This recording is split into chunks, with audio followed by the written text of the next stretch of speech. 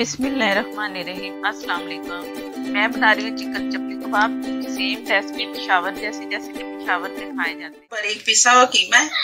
इसे छोटे चिकन के पीसेस को भी आप चॉपर में पीस सकते हो। ये मैंने आधा किलो से ज़्यादा कीमा लिया तीन पाव के करीब कीमा है। और एक अंडा मैंने तीन टेबल स्पून ऑयल में फ्राई किया है। और एक ही अंडा इसमें शामिल करूँगी।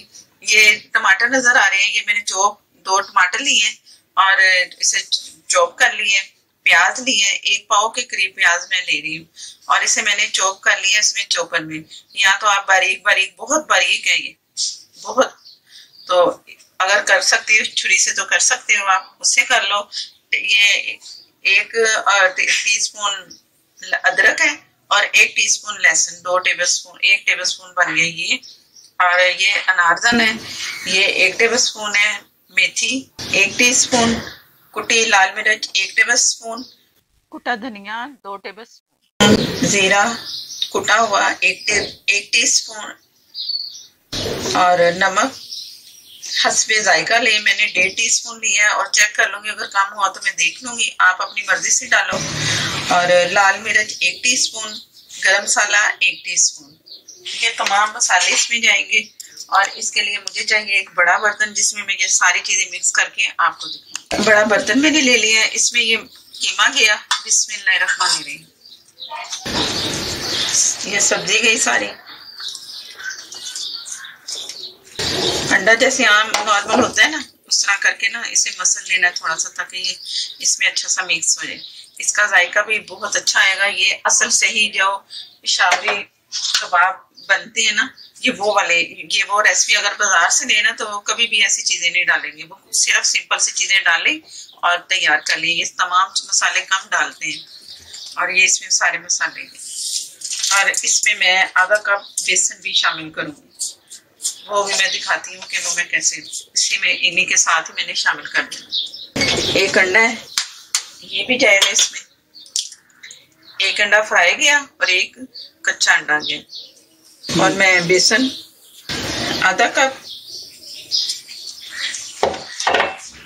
और बेसन की जगह वैसे मकई का आटा भी डालते हैं।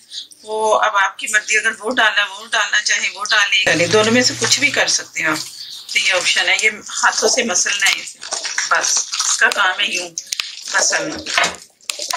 सारा मिक्स करके तो इसकी फिर मैं टिक्कियाँ बनाऊँगी। थोड़ी देर के लिए इसे मैंने रख देना फ्रिज में छोड़ देना आधे घंटे के लिए, ताकि अच्छा सा ये, एक जैसा मसाला जो चीज़ें है ना सारी अच्छा सा इसका जायका निकले। तो उसके बाद फिर ये टिक्कियाँ भी ना अच्छी सी बनेगी, जब पड़ा रहेगा ये सारा मिक्सचर सख्त सी डो बन जाएगी। अभी जरा पतला सा लग रहा है ना लिक्विड सा तो सही हो जाएगा। बस इसका अब ये ये काम है मसलने का। टमाटर मैंने जितने डाले हैं ना, बस उतने काफ़ी है।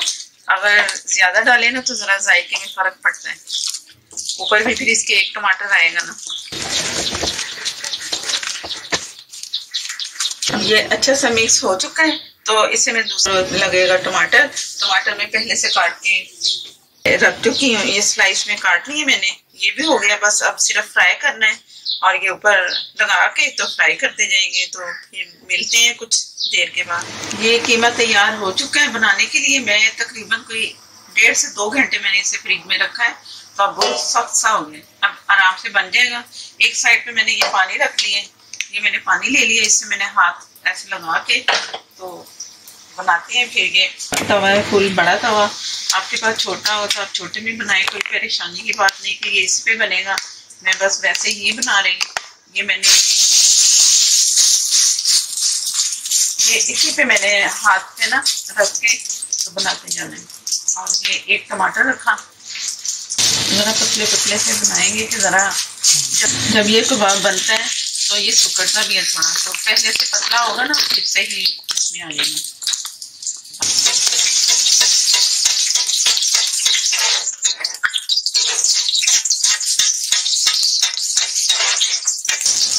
तरह करके एक एक करके मैं सारे बनाते जाऊँगी और एक साइड पे रखना है। जिस तरह मैं साइड पे रख रही ना आस्ता आस्ता बन, बनता रहेगा एक मैंने और लिया और मैं लेके आ रही हूँ ये टमाटर मैं पहले से ऊपर लगा के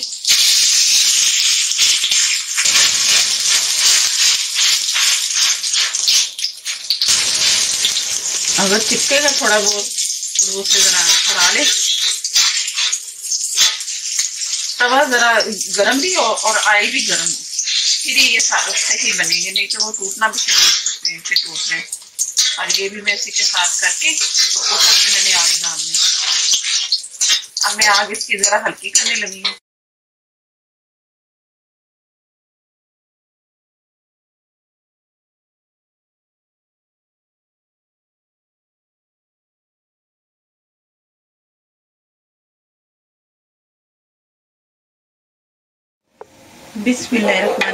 तैयार हो चुके हैं, माशाल्लाह से हमारे चपली कबाब।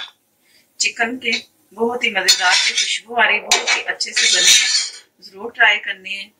और बताने के आपके चपली कबाब कैसे बने। तो ये सामने आपके हाजिर है। मेरी व्यूवर ने मुझसे ये इसकी फरमाइश की थी काफ़ी टाइम निकल हो गया मैं कर नहीं सकी पूरी तो अब शुक्र है कि अल्लाह का कि मैं ये बना रही हूँ और आपके लिए सा, आपके सामने ये पेश कर रही हूँ। और ये बहुत ही अच्छे और मज़ेदार से बने ये, ये बने ये स्पेशल चटनी है इसके लिए चपली कबाब के लिए ग्रिल चटनी मैंने बनाई है वेजिटेबल की सारी सब्जियों की टमाटर प्याज लहसुन और हरा धनिया, पुदीना, ये सारी चीज़ें इसमें मैंने ग्रिल करके चटनी बनाई। इसका लिंक मिल जाएगा। इसको चटनी को बनाएँ और चपली का कबाब बनाएँ। इंजॉय करें। मज़ेदार सी रेसिपी है। और ये चटनी मैं दिखा रही हूँ कि चटनी कितनी अच्छी लग रही है। और ये हम बहुत सारी चीज़ों के साथ खा सकते हैं। चावल, बिरयानी और शामी कबाब, रोस्ट, जिसके साथ भी चाहे ना तो बहुत अच्छा इसका जायका आएगा।